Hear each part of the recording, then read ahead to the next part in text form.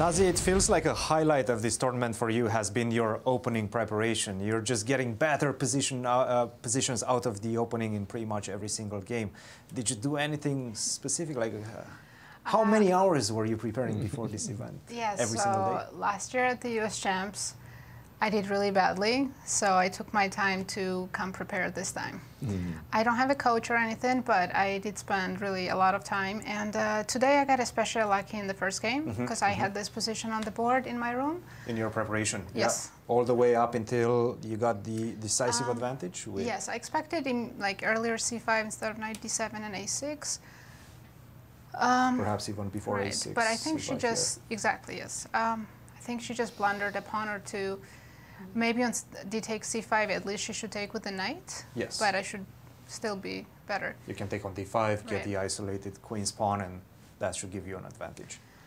Yeah. So this game went about as well as it could have gone. Did you me. feel like you were letting it slip away, or did you feel in full control the whole time? I felt in full control, and I made sure to not give her any uh, counter-attacking chances because she's so good at that. Mm-hmm, Uh, I made sure my king was safe. Um, yeah, it, felt, it uh, felt pretty smooth. And how about the second game? There was some pressure coming from her side in the second Yeah, one. I was not happy with queen c7. As soon as I made that move, um, my idea was that if she plays c5, I'm going to go bishop h2 check, king h1, bishop takes e2, and then bishop f4. But then I immediately realized that she can take with the queen on e2. Mm. Okay, Maybe it's still fine, but and that I doesn't allow you to go bishop f4 Right. because take, take, And- and, then two rooks. I can take on d4, but honestly didn't want to play this in Move it to uh, in rapid. yeah, yeah, absolutely. Especially with the king stuck on the eighth rank, looks dangerous, right? Yeah, Any and- sort of imbalances, you don't want to see that. Exactly. So I ended up in this very passive position. And I think after knight f4, bishop g6, if she went immediate d5 here, I was pretty worried. Yes, yes, that was uh, in fact the best Yeah. move according to the engine as well. You had some ideas to tame the position, but it wasn't easy at this point. Yet, So I was happy when she delayed d5 and went b4. That gave me time to improve my position. I think I'm still slightly worse, but at least I, I felt like I could hold this. yes, and it did feel like finally Just you have to managed to, be accurate and not let her get a dangerous pass pawn. This right. pawn on c5 most likely, and you did find a way to do just that. Were you worried at all about this long diagonal? I was. I was uh, repeating to myself, if she goes queen e3, don't allow queen e5. yes, you don't want to see the queen land on e5, that's for sure, which it didn't. Uh, and this was the position, and after that, at this point, I would assume, once you took on c6, you understood I- this is it, the match is yeah. mine.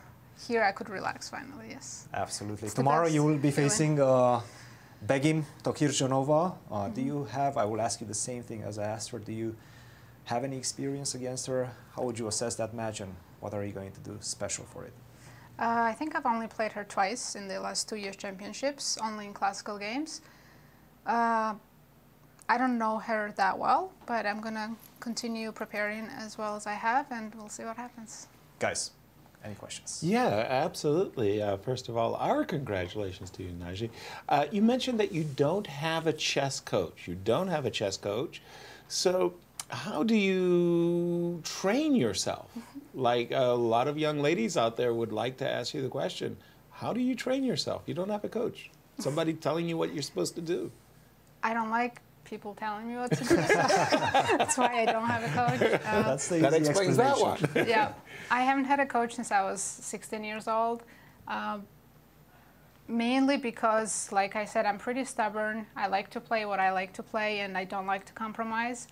Uh, and uh, the way to study on your own is just uh, if you love the game and you're disciplined. We all have uh, computers, ChessBase engine. It's pretty easy. There you go. Stubborn. I like So- it. You see, you you you you you keep Yeah. you you keep to I'm- what I'm- you know. Our congratulations. Good luck in Yeah. uh, your next match. Thank you.